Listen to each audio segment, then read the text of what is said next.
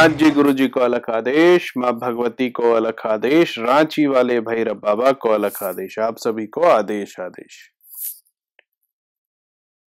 माँ भगवती देवी छिन्मस्तिका की साधना। काली कुल से आने वाली देवी छिन्मस्तिका छठी महाविद्या है। सबसे पहले समझिए महाविद्या क्या है। महाविद्या पर मैंने एक पूरा वीडियो बनाया था, जिसमें मैंने आप लोगों को बताया था कि महाविद्या का मतलब होता है वो विद्या जो आपके पास सिद्धि से आती है। दश महाविद्या की एक इष्ट देवी होती है, वैसे ही छिन्मस्तिका उनमें से एक देवी है। दश महाविद्या का वर्णन आपको देवी महापुराण या फिर महाभागवत पुराण इनमें नहीं मिलेगा। दश महाविद्या का पहला वर्णन वर्णन जो था वो सक्त महाभागवत पुराण में है। सिर्फ़ यही एक पुराण है जिसमें कि दश महाविद्या के बारे में बताया गया है। जो महा भगवत पुराण है, उसमें शिव जी ने नारद जी को दुर्गा के विभिन्न रूप के बारे में बताया था, जिसमें सती भी आती है। जनरल पब्लिक ये जानती है कि मार्कंडे पुराण से ही देवी, भगवती देवी दुर्गा का प्रादुर्भाव के बारे में सारी जानकारी आपको मिलती है, लेकिन महाभागवत पुराण में शिव ने नारद जी को पूरी सती की कहानी बताई थी। तो विषय यह है कि जो वैदिक ज्ञान है, उसमें छिन्मस्तिका नहीं आती है ठीक है? लेकिन जो सक्त महाभागवत पुराण है उसमें आपको देवी छिन्मस्तिका का वर्णन है। जे देवी छिन्मस्तिका ईस्ट डायरेक्शन की देवी मानी जाती है मतलब ईस्ट जिधर से सूर्योदय होता है। तो इनका काम है आ, कुछ नया उत्पन्न करना इसीलिए जिनका जिनके लाइफ में कोई चेंज नहीं हो रहा है जो बार बार फेल कर रहे हैं ठीक है? या फिर जिनको ऐसा भी बोला जाता है जिनका वंश वृद्धि नहीं होता, उनको छिन्मस्तिका की साधना करनी चाहिए। शक्ति इनमें बहुत ज़्यादा होती है। तो हालाँकि दुर्गा अवतार में नहीं आती है और जो शक्ति पीठ है उसमें भी छिन्मस्तिका का वर्णन नहीं है, लेकिन अगर आप चिंतापुरी जाएँगे हिमाचल प्रदेश में जो छिन्मस्तिका का पहला स्थान है, जहाँ पे माना जाता है कि उनका जन्म हुआ था तो वहाँ पर यह बताया जाता है कि जब सती का जब शरीर पे जब चक्र चला था तो उनका मस्तक वहाँ गिरा था। इसीलिए उनको चिंतामणि या छिन्मस्तिका भी कहते हैं।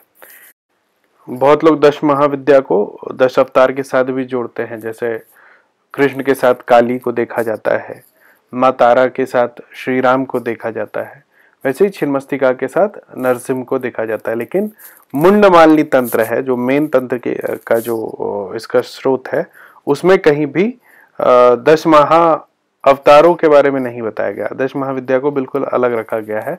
हाँ इसका थोड़ा बहुत जो आप आकलन है, एक तंत्र होता है, गुहिया, गुह्य तंत्र।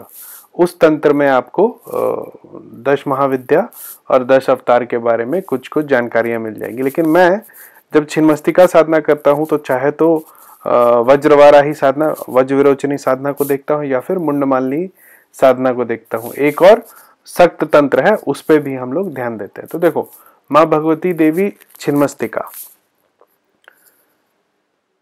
ये जो है आ, इनकी पूजा आप नित्य कर सकते हैं या फिर जो छिन्मस्तिका जयंती होता है उस दिन कर सकते हैं या किसी काम विशेष के लिए इनकी पूजा की जाती है। मतलब नित्य भी कर सकते हैं नैमित्य भी कर सकते हैं काम काम में भी कर सकते हैं। आज जो मैं बताने वाला हूँ वो नित्य पूजा का विधान है जिसको भी जीवन में आगे बढ़ना है, वो इस साधना को करे। शक्ति, धन, दौलत रुतवा सब आएगा इस साधना को करने से। मैंने आप लोगों को पिछले वीडियो में बताया था कि जैसे जैसे आपका चक्र जगता है तो आप में बहुत सारे सुपर नेचुरल क्वालिटीज आते हैं। तो जब आपका मणिपुर चक्र जगता है उससे जो शक्तियाँ प्राप्त होती है, वही शक्तियाँ आपको देवी छिन्मस्तिका की उपासना और सिद्धि से आती है। तो कैसे इनकी उपासना की जाए? सबसे पहले माँ भगवती का एक यंत्र बना ले, ठीक है? एक कागज़ पे आप यंत्र बना सकते हैं या फिर भोजपत्र पर केसर से एक यंत्र बनाए एक ट्रायंगल बनाए उल्टा, उसके अंदर फिर एक ट्रायंगल बनाए, पहले ट्रायंगल से उल्टा और उसके अंदर में लिखे होम और उसके ऊपर फिर आठ पत्तों वाला एक कमल बनाए, ठीक है? जो हुम मंत्र है, ये देवी का बीज मंत्र है। हुम मंत्र तीन मंत्रों का मेन मिश्रण है। पहला मंत्र श्रिम, दूसरा है ह्रिम और तीसरा है क्लिम। मतलब श्रिम जो पहला जो बीज का समन्वय इसमें है, वो माता लक्ष्मी का बीज है और उससे आपको धन आता है। जो ह्रिम बीज है, वो लज्जा बीज है मतलब आपको प्रतिष्ठा देगा। और जो क्लिम बीज है, वो पापनाशनी काली का है मतलब आपको शक्ति देगा। तो श्रिम ह्रिम और क्लिम को मिश्रित करके हुम बीज बना है। अच्छा हुम बीज में और भी चीज़ें आती हैं जैसे पंच महाभूत का भी इसमें मिश्रण है। तो एक ही आ, मंत्र करके आपको इसका सारा फल मिल जाएगा। देखो भगवती की पूजा करने के लिए पहले आप यंत्र बना ले फिर एक दीपक रखें घी का दीपक रखें और उसको एक मंत्र है उससे प्रज्वलित करें। जैसे मैंने पहले बताया भगवती को बुलाने के लिए आवाहन होता है तो माँ को प्रतिष्ठित करने के लिए आप मंत्र बोलेंगे, ओम एम ह्रिम क्रोम स्वाहा। इस मंत्र को पढ़ के आप दीपक जलाएँगे और उसके बाद वहाँ पर पूजा करेंगे। फूल प्रसाद, गंध, धूप और इसमें एक और माँ की पूजा में एक चीज़ और लगती है वो है संगीत, इसके लिए आप वहाँ पे घंटा रखेंगे, जो घंटी होती है। उसके बाद खुद का बंधन करेंगे। खुद का बंधन, ओम एम खड़गाय हृदय स्वाहा एम पासाय, कवचाय, स्वाहा, इन दो मंत्रों से खुद का बंधन कर लेंगे। उसके बाद ध्यान करेंगे, ठीक है? इसमें और भी कुछ कुछ चीज़ें हैं, जैसे कि आप ध्यान करने से पहले आचमन करेंगे। तो आचमन करने का मंत्र होता है, श्रिम ह्रिम हम, ऐसा बोल के आप आचमन करेंगे, उसके बाद फिर थोड़ा सा जल लेके होठ पे सटाएँगे और बोलेंगे एम, ठीक है? उसके बाद फिर से थोड़ा सा जल अपने मुख पे छिड़केंगे और बोलेंगे ह्रिम ह्रिम इतना करके आप तैयार हो जाएँगे। फिर माँ भगवती का ध्यान करेंगे। माँ का जब ध्यान करते हैं तो ध्यान का केंद्र आपकी नाभि होते हैं मतलब मणिपुर चक्र होगा, ठीक है? मणिपुर चक्र पर ध्यान करेंगे और उसके बाद जब ध्यान से उठेंगे तो फिर माँ का जाप करेंगे, ठीक है? माँ का जाप करने का स्थान थोड़ा अलग होता है। माँ का जाप जब आप करेंगे तो जिस कमरे में करेंगे, उसको बिल्कुल ही पूर्ण रूप से साधना के लिए तैयार कर लेंगे। मतलब बिल्कुल ही स्वच्छ रूम होना चाहिए। जब तक आप इस पूजा को करेंगे, अगर माँ को हमेशा रखना चाहते हैं, उस रूम को हमेशा स्वच्छ रखेंगे।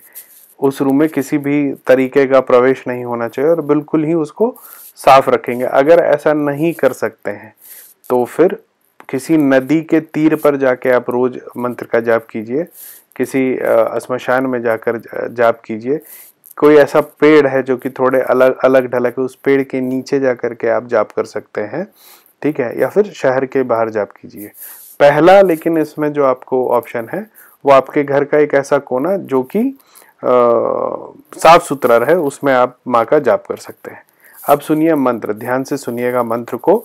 तीन बार बोलूँगा मैं। मंत्र है, ओम वज्र विरोचन्य हुम हुम हुम फट फट फट स्वाहा।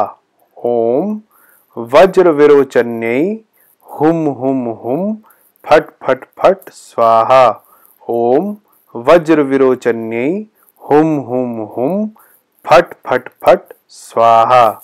इस मंत्र को करने के बाद आप बलि निवेदन करके बलि देंगे शुगर केन का, ठीक है?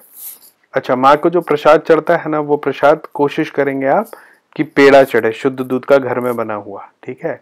और एक बार बलि दे दिया तो फिर हवन करेंगे आप किसी से, मधु और मदिरा को मिला करके आप माँ का इसी मंत्र से हवन करेंगे। आपको कितना जाप करना है? चाहे तो आप अगर रोज जाप करना है तो एक हज़ार या सौ की संख्या अपने अनुसार तय करके उसका रोज जाप करें। देखो, इसमें जो संकल्प होता है, संकल्प का तरीका है। आप अपने कार्य के अनुसार भी संकल्प कर सकते हैं। एक लाख जाप करता है जो, उसके मार्ग में जो भी जैसे आप बोलते हैं कि मेरा काम नहीं बढ़ रहा है, कोई भी काम करता हूँ तो काम रुक जाता है, ऐसा जिनको लगता है, वो इसका एक लाख जाप करें, फिर नित्य एक माला जाप करें। ठीक है? जिनको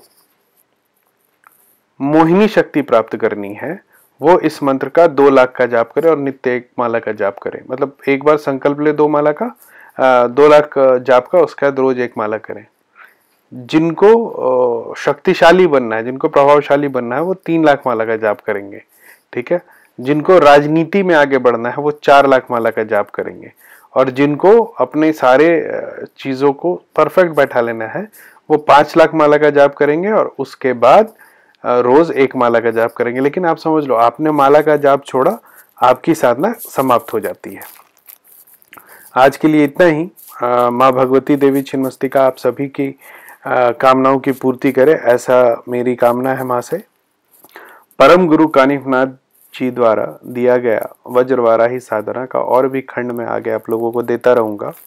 इन साधनाओं को करिए और आप लाभ उठाइए। देखिए ये एक ऐसी साधना है जिसको हर एक महापुरुष हर एक देव अवतार हर एक दानव अवतार ने किया है।